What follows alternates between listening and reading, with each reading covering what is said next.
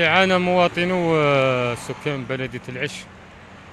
آه، من الطريق الوطني رقم 45 حتى أصبح يسمى بطريق الموت. آه، في كل أسبوع آه، معدل ثلاث حوادث في الأسبوع. وفيها حتى الموتى. يعني عانى المواطن المواطن حتى سالكي الطريق آه، الطريق الوطني هذا. عانوا من وزن ثقيل من غيرها.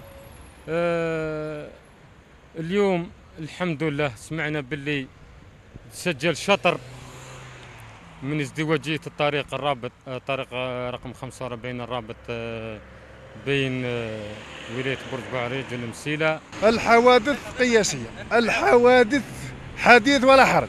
حديث ولا حرج هي محتلة المرتبة الأولى على مستوى ولاية برج براريج في عدد القتلى في الحوادث المرور هذه يعني هو معروف الإحصاءات راه عند الدرك الوطني وعند الحماية المدنية باللي الطريق الوطني هذا يسموه طريق الموت.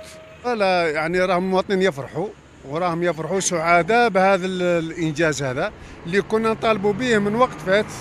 والحمد لله يعني نتمنى الاستمرارية في هذا إحنا في ولاية بوش بعريج يعتبر الطريق الوطني آه، 45 كمنفذ آه، من آه، الهضاب العليا باتجاه آه، الهضاب العليا للحضنة ومتفتح على آه، الصحراء.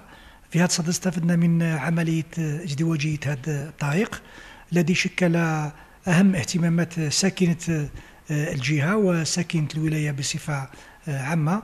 هذا المشروع آه، بقيمة آه، مالية معتبرة جدا آه، الدراسات انتهت والتسجيل تم ونحن بصدد تحضير دفتر الشروط للانطلاق في آه، الأشغال.